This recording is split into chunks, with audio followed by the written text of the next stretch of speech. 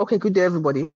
Welcome back to KodeCamp, DevOps Bootcamp. Today, we're going to be talking about an interesting topic, um, which is um, very prevalent in the DevOps space um, and has been a revolution since it began to be used in DevOps and in cloud infrastructure. Um, it is containerization, um, which is basically how um, applications are run as lightweight images um, containerization. Um, today we will go through our content, which includes um, we'll talk about what Docker is, what is the application Docker, what it does, what's how it is relevant in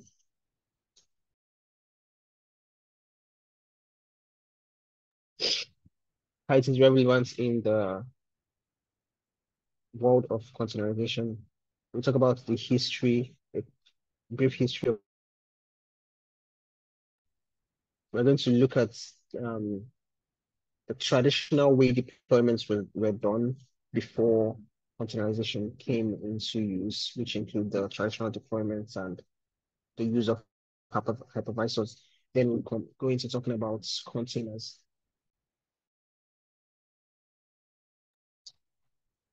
After that, we're going to look at um, some examples of containers. Then we'll go on into talking more about Docker look at the Docker daemon or the Docker agent, and then we'll talk about networking in Docker. We'll then go on to speak about um, images, um, containers of Docker, the Docker image registry, and finally we'll talk about the commands um, to interact with Docker, Docker API and also um, Docker files. And what looks like create one. All right. So going right into it, Docker is a platform for developing, shipping, and running applications inside containers. Um, when you speak of a container, you're talking about a lightweight um, image of a machine or an application. Um, it's it's like a small package of an application that can be run on any kind of infrastructure. Regardless of the environment or the setup of your of, of your infrastructure, um, say you have a Windows server or you have a Linux server, when an application is packaged um, into an image, into a, um, Docker image, when it's containerized, which is um, packaged into an image containing all the requirements that it needs to run and function and deployed on a server, it can use the, requirements and the setup it has um, within that image to run and without needing any additional setup of this of this of this of the um, infrastructure that's running on. So this um, greatly revolutionized the way deployments are done.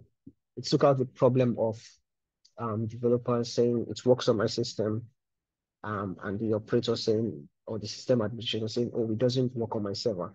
Or one person saying, I've written this code, it runs fine on my system. And the next person saying, oh, this doesn't run fine on my system, what do we do? So the ability to create um, a, a packaged application and being able to run it anywhere is a big move that Container and Docker itself um, brought into um, the the computing right? So some components of Docker include the Docker engine, which is the core of Docker, um, which is responsible for um, registering and running Docker images and containers. And then the container itself, which is a lightweight, portable, and self-sufficient in that it has everything it needs to run the lightweight, portable, and self-sufficient units um, that can run almost anywhere right? So um, looking at a brief history of Docker, um, in 2008, um, Linux containers were introduced, and 2013, we had um, Solomon Hykes, which came up with the concept of creating Docker.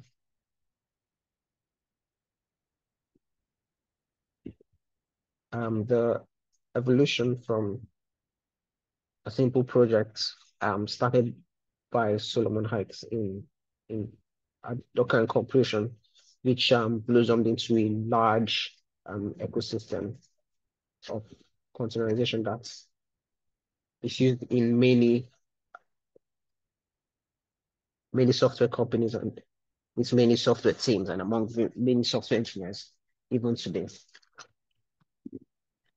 So taking us back a bit, still on history.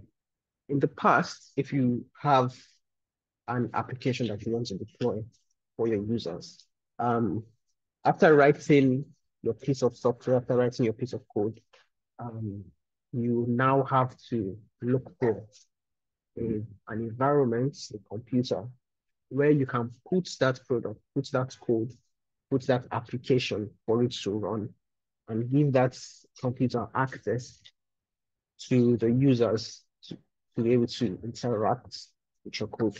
Um, you have the, the concept of servers and clients, right?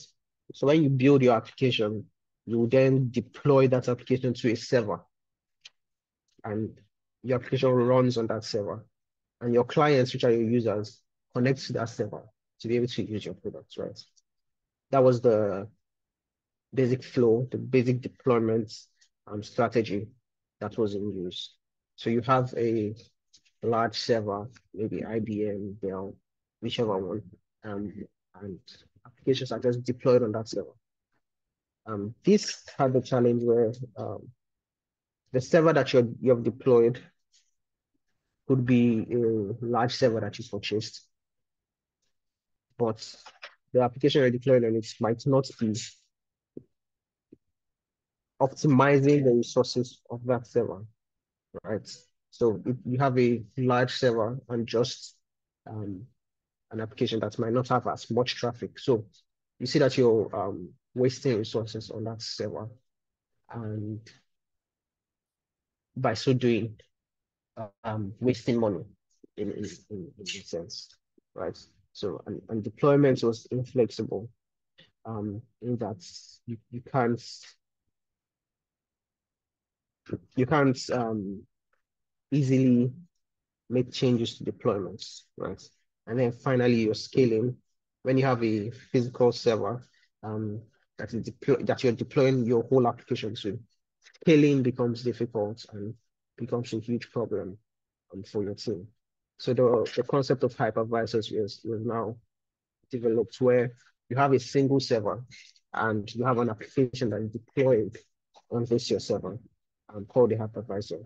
So this hypervisor helps to um, partition and break down the resources of your application so that they can be used by various applications, right? You have a single server, maybe um, vSphere or VMware ESXi um, as your hardware. And on top of that, you have your hypervisor, which then you can use to partition resources and make them available to your various applications, right?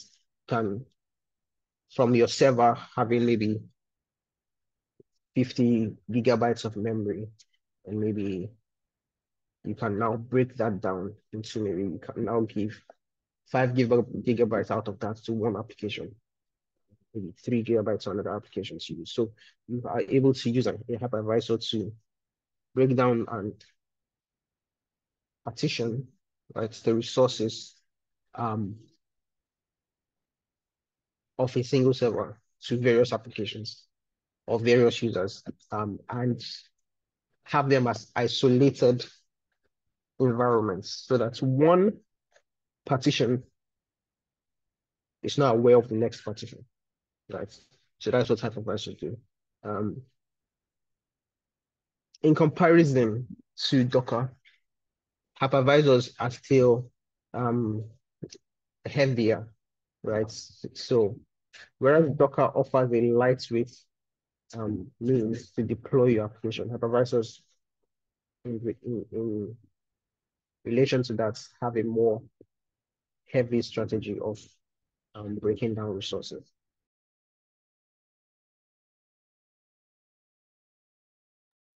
Now, container containerizations help help us to package applications and their dependencies. Say you have a Python application, you can package your Python application with your the various libraries you have imported, the various things you need to do, your virtual environment. You can package them.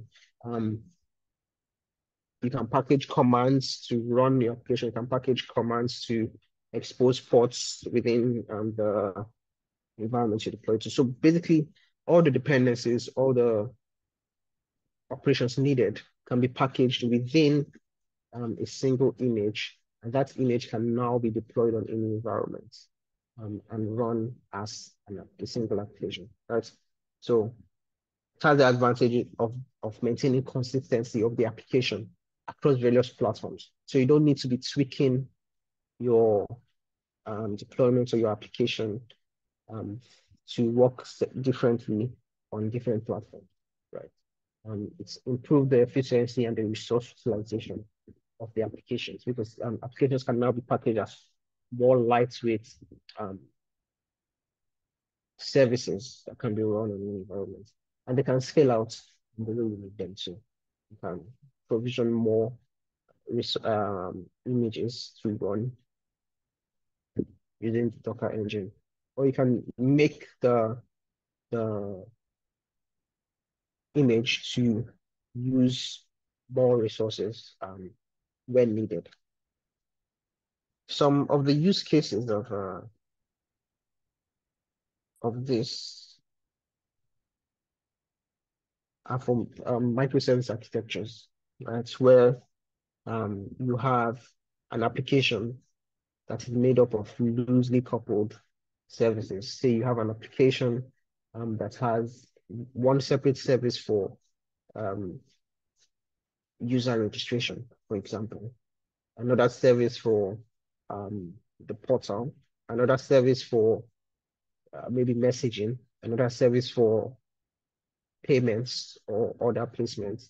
And these are different services that can be packaged and different container images and um, coupled loosely through um,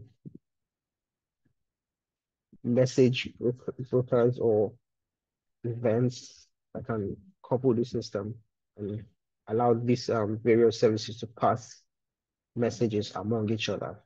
That's the, that's what forms a microservice architecture. So um, services and images, Docker images, containerized applications are great um, to use in a microservice architecture.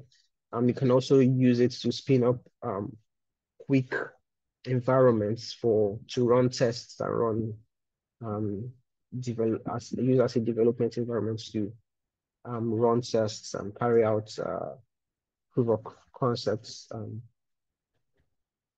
before deploying to your main uh, production environments. Um, containers can also be used in production environments, of course, but what this what I'm trying to say here is that um, the ease of which you can create a container and create a containerized application and a containerized environment uh, makes it a, a great functionality for dev and test environments. Right. Um, also for uh, continuous integration and continuous deployments, um, you can easily integrate new features into a container image um, and uh, upgrade the container images to, to a new version. So Docker. Docker, like um, we've explained before, offers an open source platform for creating and running containers. Um, you you have the Docker engine, which is like an agent or a daemon or a process that runs within your system. It helps to create and run images. You also have your Docker hub, which is your like your registry or your repository where you can save images either publicly or privately. And then your Docker Compose is a tool that you can use with Docker to orchestrate multiple containers, like we um, said, using uh, microservice, like in a microservice architecture. Right. So um, the Docker daemon or the Docker engine um, is a process, a background service that, that manages your images on your computer or on your on your server. Um, handles things like uh, the container image, running the container image, handling the container resources, including networking and uh, storage, processing uh, power. Is all handled for the containers and for your images by the Docker daemon. And communication, listening for the commands that are sent to the Docker API using your Docker using your various Docker commands. The Docker daemon helps to um, listen for those commands and execute them um, on the Docker images, on the Docker objects. Networking in Docker, Docker allows um, containers to be able to communicate with each other and also with the host system, right? So um, in a in a Docker when you set up Docker in your system and you're running Docker, you're running images with Docker, Docker can help you to create um, communication networks between containers that containers can communicate with. And it can also create networks that the containers can use to communicate with the host machine. Um, so it kind of creates within Docker a virtualized network, which can be your bridge network. So you can create virtualized network and connect various services, right, various containers to that network so that you can send packets from one container to another. Um, you can also create a host um, type of network with Docker that helps you to create um, send messages from your containers to your host or from your container to um, the node that the container is running on, the computer, the server that the container is running on. Um, um, without, if it's not on host, it's usually a bridge network which isolates the network and creates a virtual network among the, the images and the container that you're running on your server. The overlay um, type of network in Docker helps you to connect with multiple hosts from your Docker image. Now, the most widely used among um, all of these are the bridge network or the host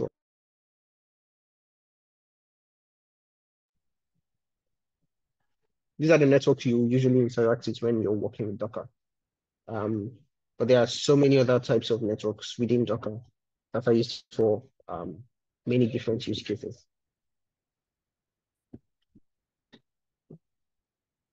So a Docker image, um, like the package or the template that is created um, to be run on various environments, right? You can create a self-sufficient unit, a package, as it were, of, of your application. Um, and that is created and as a um, read-only template, as a Docker image. Now, when a Docker image is executed, that's when it is known as a Docker container, when it is running. So Docker containers are running instances of Docker images. So you can create, you can have an inst an, a, an image of a Python application, and you can use it to deploy three replicas of that one image. So you can use it to deploy three um, exact uh, running executions of that's your one Docker application that I've created.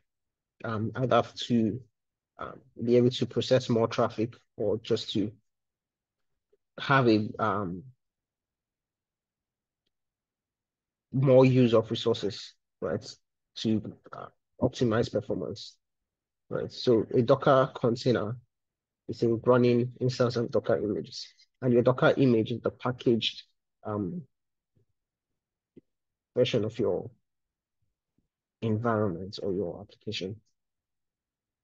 So a Docker container can be created as the initialization where the, the, the container is created. Um, it can be run. When it's run, it can be stopped or it can, and it can also be deleted from the Docker environment. So when you create an image, um, Docker provides a platform where your image can be stored or hosted, either publicly to give people access to it to be able to use your image, um, or privately um, if you don't want your image to be publicly accessible. So the various organizations, um, whichever one can think of, Ubuntu, um, Nginx, MySQL, Postgres, they all have Docker images. They all have images of setups that you can um, run on your system as containers, right? And they are all hosted on Docker Hub, and we can look at that later. Um, some commands you can use to interact with Docker include Docker run, which helps you to run Docker containers um, and executes them. You have Docker PS, which displays the various processes that Docker has created. Um, you have Docker stop, which can be used to stop a running container. Uh, you have the Docker remove, which can be used to remove um, a container um, after it has been stopped or deleted, after it has been stopped or halted. You also have the Docker pull, which is used to pull or basically download an uh, an image from a from an image repository, either Docker Hub or any other public or private um, image registry. You have the Docker build, which creates a Docker image of your environment or of your application. And then you have Docker push, which is used to um, push your image to your image registry. Docker login is also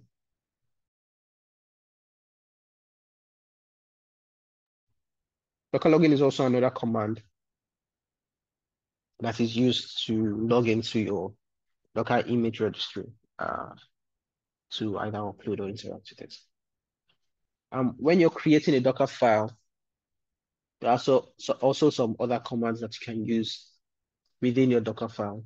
Um, to set your base image, use the from keyword.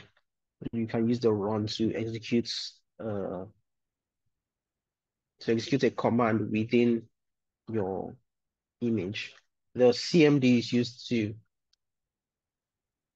create an entry point to your, your to create an executable entry point to your image when it is run as a container. Um, expose open some ports um, within your Docker image, and the copy is used to copy files or folders from your local um, or from a, a path within your host system into your Docker image.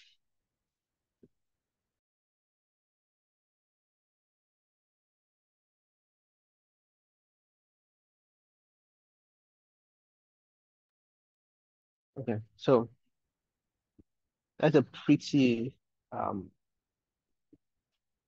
foundational rundown of what Docker is and the various things that we can do with Docker. Um, we have some exercises here that we can work with, but let's see if we have any questions based on what, what has been spoken about.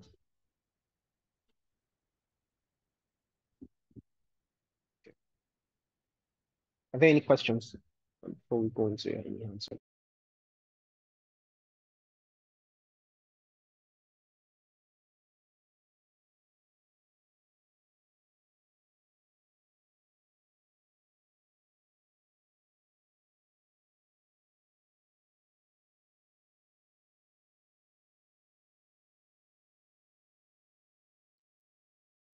Okay, one question um, from Michael Wogan.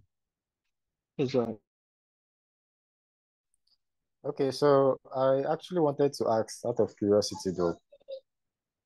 So when you mean Docker having containers or Docker handling projects as containers, does it mean that compared to hypervisor, which is actually connected to a large server, Docker has its own set of servers and but they just manage it separately, or how did that process go under the hood?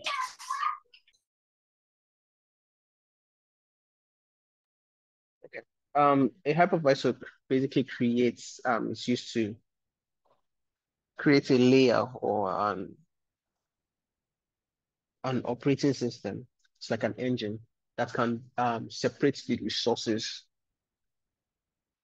of your server into different environments that you can now run your applications on.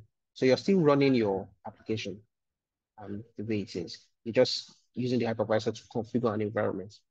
Whereas Docker helps to package um, your application like uh, self-sufficient application, a self-sufficient package that can run anywhere. And Docker actually can embed an OS image because Docker Docker images are like layered on top of each other. So you can layer an OS image on top of your you can layer your application on top of a um image of an OS. So basically you can have your image of uh, a Linux application, right, deployed within a Windows environment using Docker, right, for a very specific use case. Um, but that can be done with hypervisor. I don't know if the difference is clear, especially with this example. Okay, so from what you said, Docker actually sound it's it's it feels like it's an external, like it's a virtual environment on this, but it can act like a virtual environment with the use of images, correct? Yes, you can say that. It packages um packaging application with the environment, all its all the dependencies and, and things it needs to run within it. Okay, so it's more like an uh like a like a vagrant variant compared to like you know support. Thanks. I don't know, it's, it's different from Vagrant.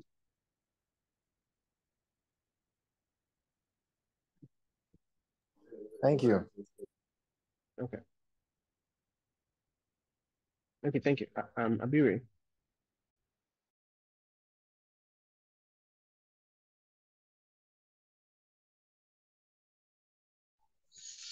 Yeah, good evening, sir. Thank you so much for this. I, I wanted to find out um, what happens when you don't remove your Docker image. Okay, so let's say the port you're using, it's it will be occupied till you do remove it, right?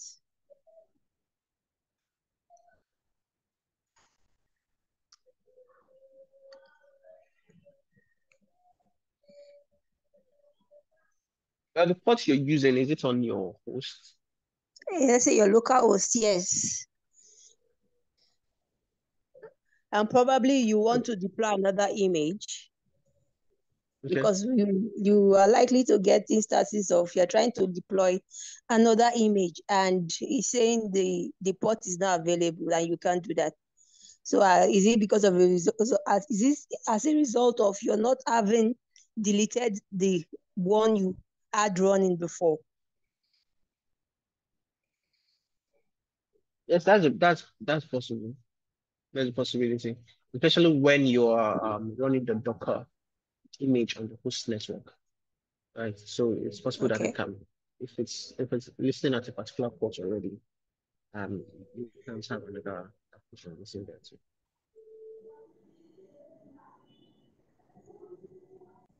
Yeah, that that can be a possible problem that you can encounter, which can be solved using the bridge network.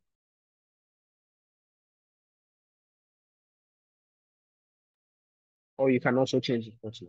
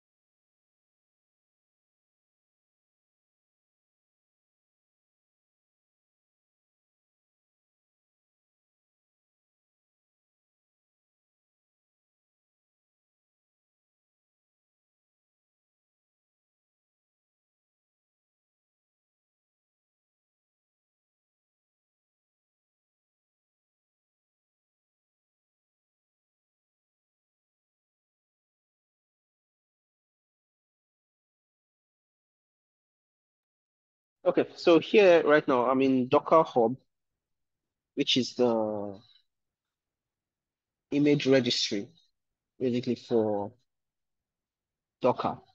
And you can see that there are various applications here that you can pull this image, pull images of and run um, as in, as uh, containers. Basically, you have various applications. You have Mongo, you have your Apache server, there's RabbitMQ, Traefik. Um, some of the ones we know, we have Nginx here, we have an Ubuntu machine, we have Python, right? So you can use these to create Docker images. Um, I'm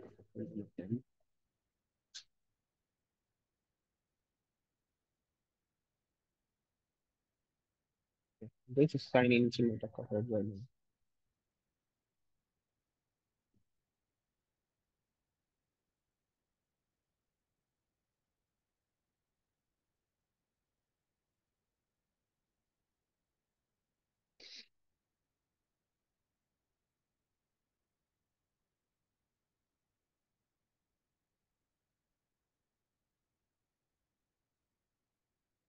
Okay, so we are signed in now. Um, these are some of the images that I have. This is my personal repository, but I've made this public. So um, these are some images that I've created by myself. Um, if I go to explore, I can see some um, images from different organizations, right? Um, looking for that into but I just so basically um these are various images that you can run. There's InfluxDB, there's tra Traefik here. Um there are databases that you can use.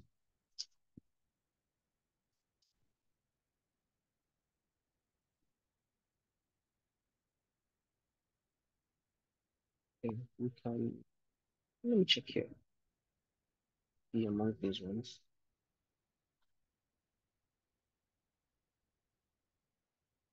There's WordPress here that you can use, AWS Linux. Okay, so I'm just going to search for Ubuntu.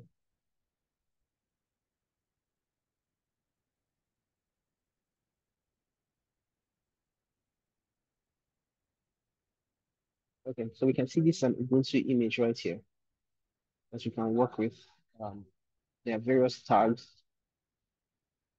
which have various um, versions of this.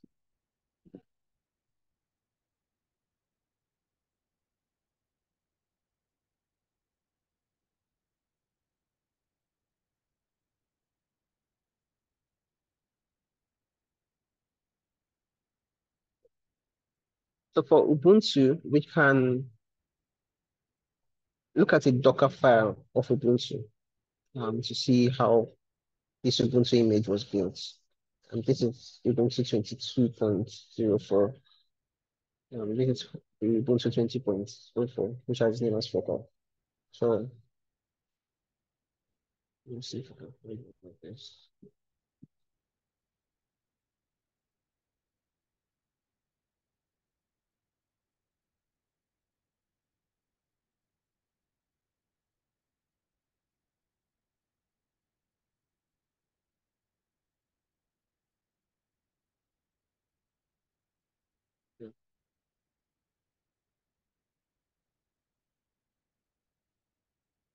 Okay, so in addition to this Docker environment that is set up here, um, I also have a Docker engine running on my system.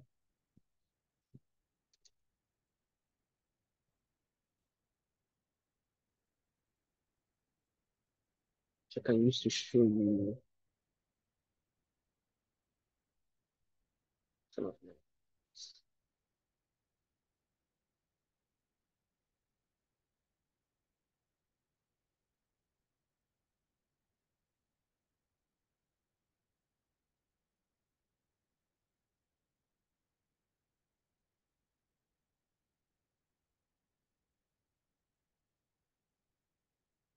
Okay. I'm going to share my screen now.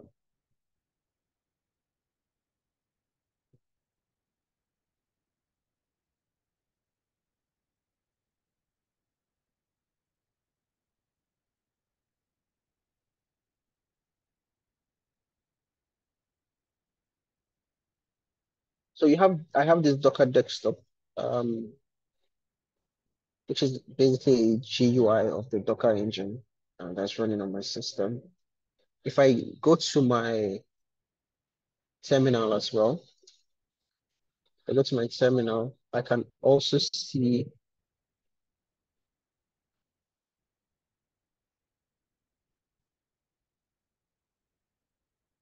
I can also see that I have Docker CLI installed here.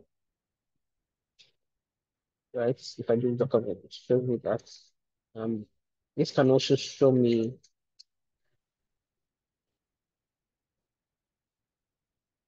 some of the Docker images that I have in my system.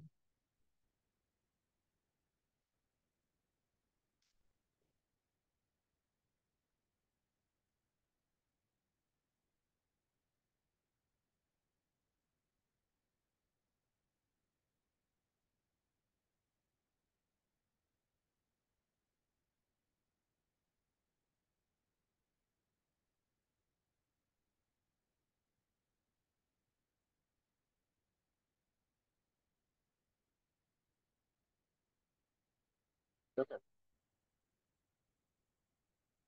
you can see some of the Docker images that I have on my system right now.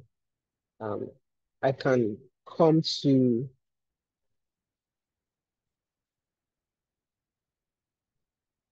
the Docker Explore page and pull a Docker image. Say I want to pull, let's see this hello world. Um, It might be a good example.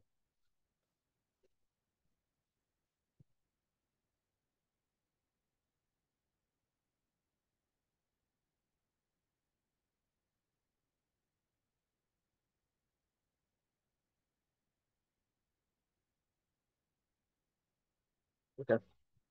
So this is Docker file that creates this, this image here. So it simply has um, from scratch, which is a way of saying starts on a blank slate. Um, then it copies hello, which is this file here, into Docker, and then it runs it as a script. So if I pull this using Docker pull, hello world, and to pull this image from the Docker hub and run it on my system.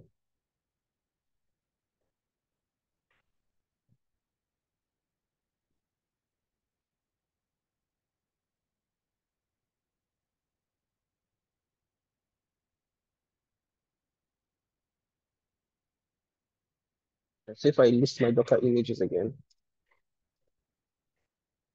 I can now see that hello world has been pulled here, right? Um, and I can run that using docker run hello world.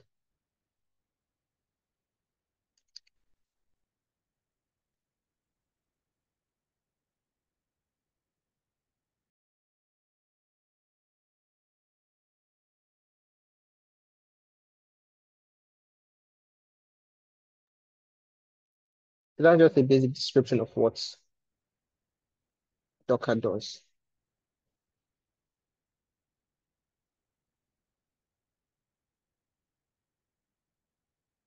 So, so that, that brings us to the end of this class. Um, um, I hope we've been able to understand some things about using Docker and working with Docker images. In our next class, we'll go over how to create a Docker image using the Docker file and basically Dockerize an application and run that application as a container. Thank you very much, everybody, for joining today. Um, if there are any questions, I can take some questions.